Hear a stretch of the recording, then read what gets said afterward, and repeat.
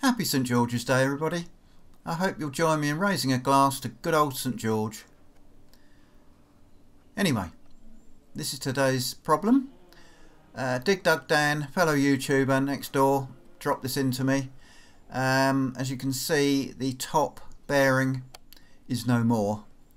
Um, so it's got to be replaced. I'm going to cut it off and put this new one on. It's different shape, but we'll get over that. But also, I've got to replace the grease nipple because it's it needs a remote one because of where the the, the RAM is in the machine. Um, you can't get a greaser on it, so it has to be remote. So that's got to be changed. So we'll do that first. I'm going to take this one out, which is a, I think this is a six mil, and we're going to replace it with a eighth BSP.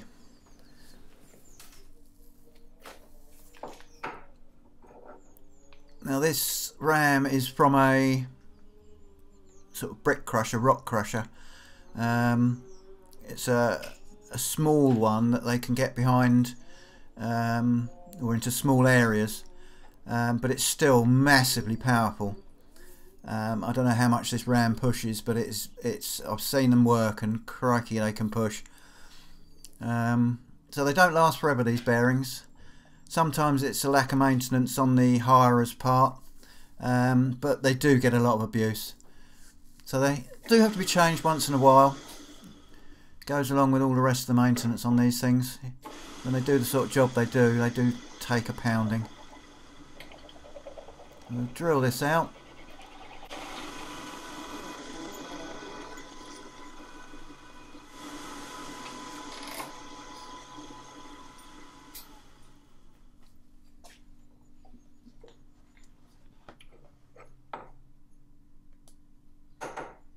Looks deep enough to me. I'm putting um, a tapered um, tap in. It's a tapered thread. This is a starter tap anyway, and I'm gonna then I'm gonna put a final tap in, which is still tapered.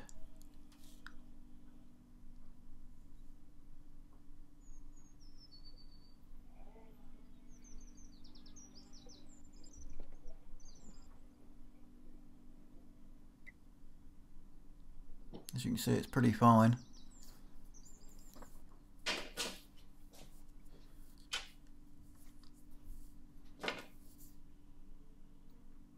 I'm just going to change them over.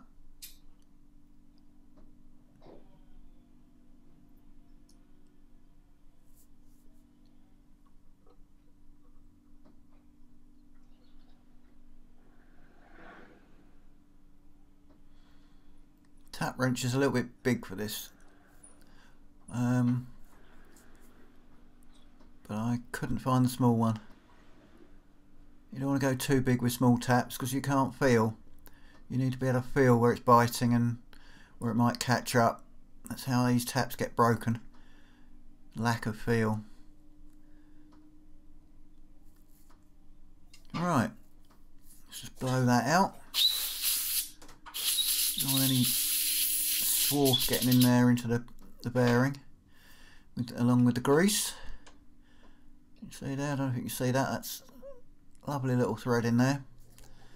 So that's that bit done. Let's concentrate on this. Now I've worked out to get the bearing in the same place as the original. I've got to cut it right in the middle of the second weld. So we'll give it a go.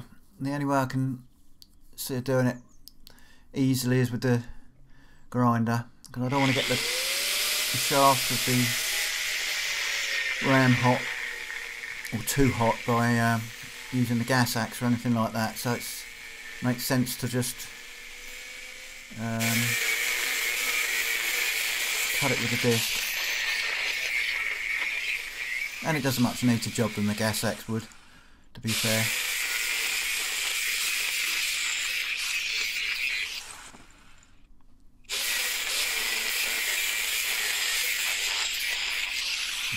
quite get all the way around this with, uh, this. I suppose if I put another new one in it might cut a bit more but I'm about to my limit. Let's see if it's enough to knock it off. It's almost gone.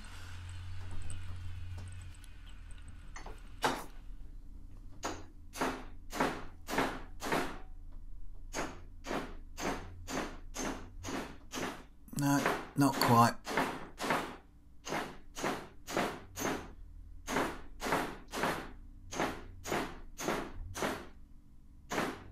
No, looks like we're going to have to uh, resort to the good old hacksaw.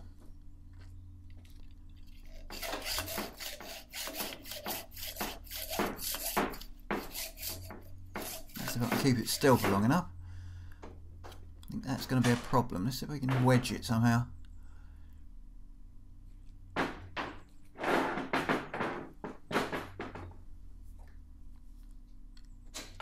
Yeah, of course, open it up the other way now.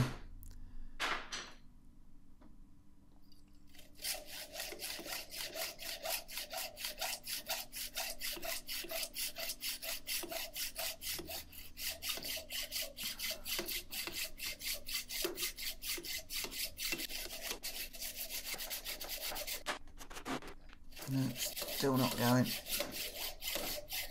I think what I'm going to have to do is try and clamp it so I can get a proper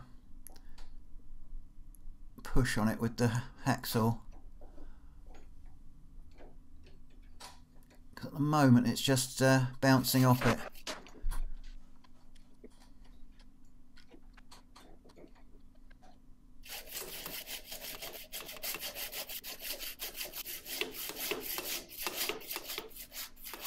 Hey, there go. That's what we're looking for.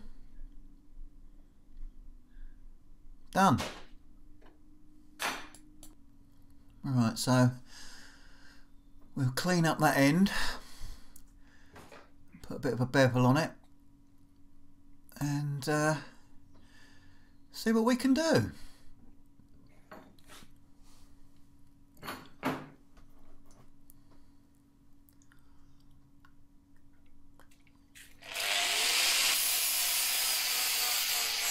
I'm surprised.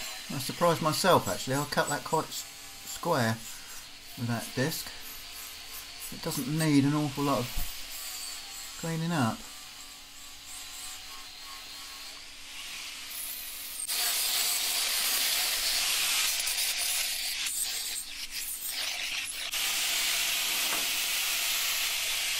And this has already got a bevel on it, so I'm just going to take the rust off. Get it nice and clean and shiny.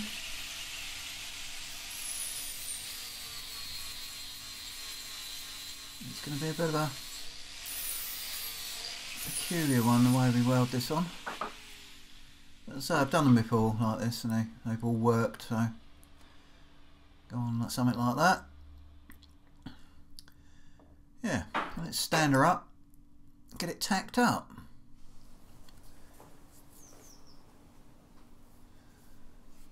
I want to get this as damn near spot bollock in the middle as I can. I said with all the, the amount of tonnage this must push, I don't want it pushing off centre. So if I can get it as close as possible to being in the middle, we'll be laughing.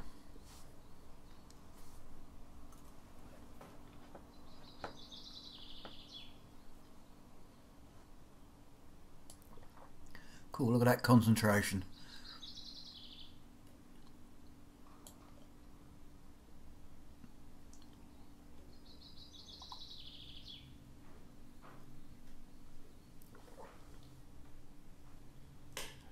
Done. Right, I'm going to just protect the ram as best I can. Spits and spots of weld on there.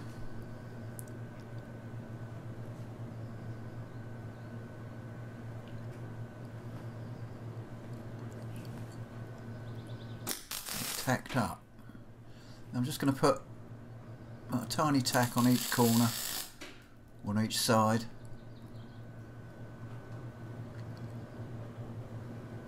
Just to hold it while we get our first runs in.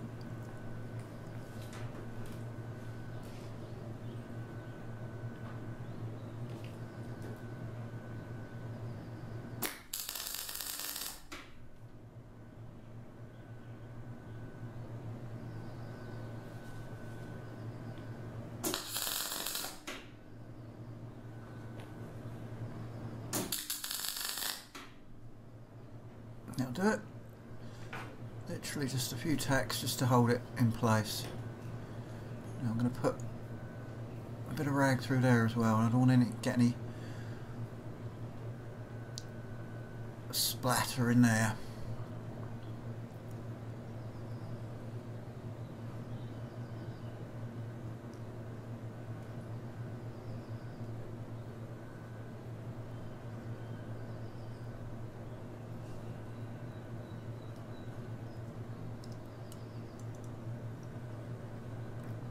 That's it. So what I'm going to do is just going to put a, a small run in either side, just like a root, and then we're going to give it a bit of a preheat.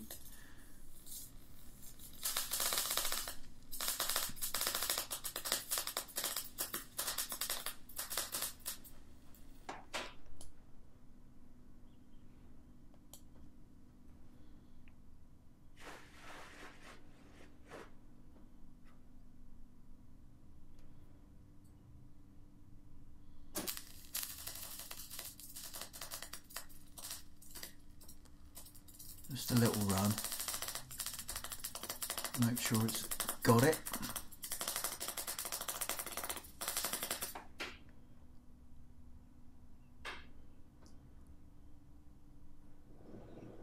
I'm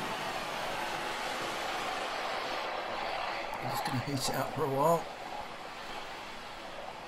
I could have got the, the gas axe out but I think this will do it sufficiently I don't want to get it too hot because I don't want to get any um, trouble with the seals at the other end of the ram so I don't want to let any heat go too far down but I don't want it stone cold. And avoid some cracking and or anything like that. Cold you know it's shrinking too quickly and cracking. That's about enough. Let's lay it down and start putting in some lines. Right now I've soaked this rag in water.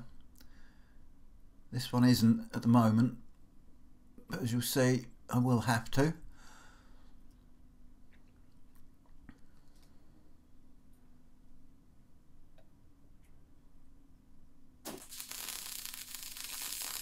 I'm not sure how many runs I'm going to have to put on here.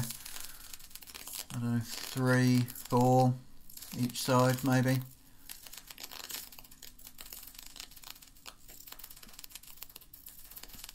But we'll see. Can't come up too high. Yeah, you can see that's why I'm going to have to wet that.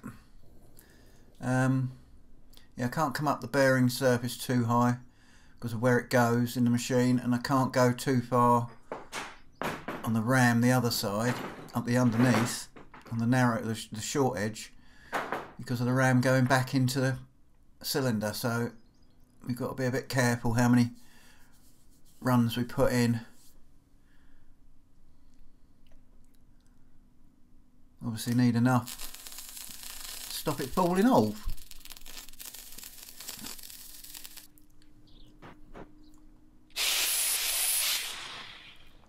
just taking out those tacks because they were pretty shitty tacks.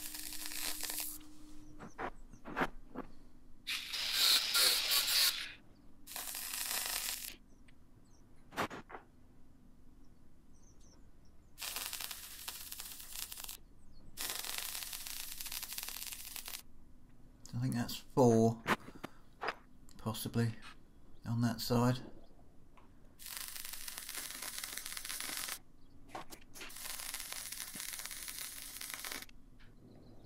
think we put four on each side and perhaps three on the short sides. something like that. The short side is a bit tight on the ram.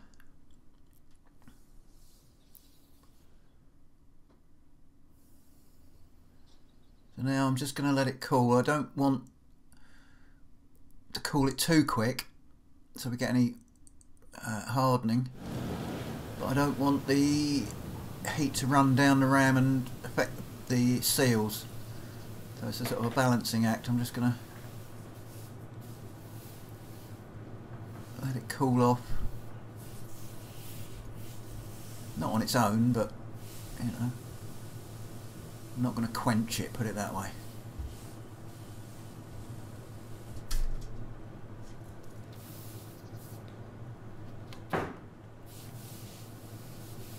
go and get that one dunked again.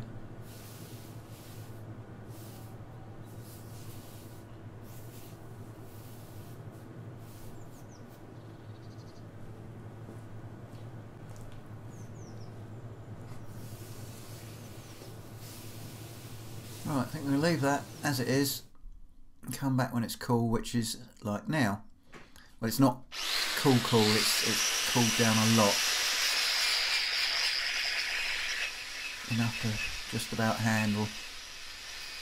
Clean her up.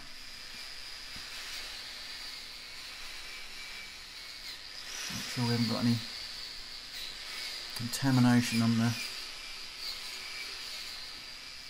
piston.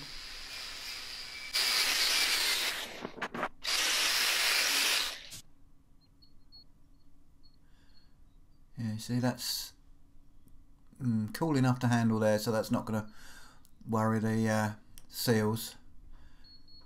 And that end is still what up to 50 odd. So it's almost too hot to touch that end but the other end is okay. So that's it. Job done. That can go back in the machine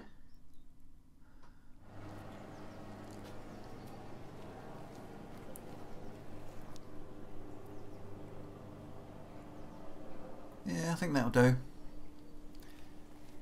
You can, it's, you see what I mean about going too far around the, the short side.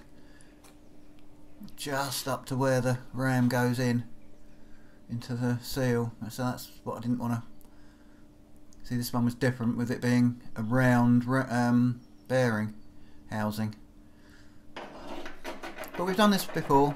We've used exactly the same um, bearing carriers before and it's all worked. So hopefully if you go over and look at Dig Dug Dan's YouTube channel you might even see him putting this back together. So thanks for watching. And hopefully we'll catch you on the next one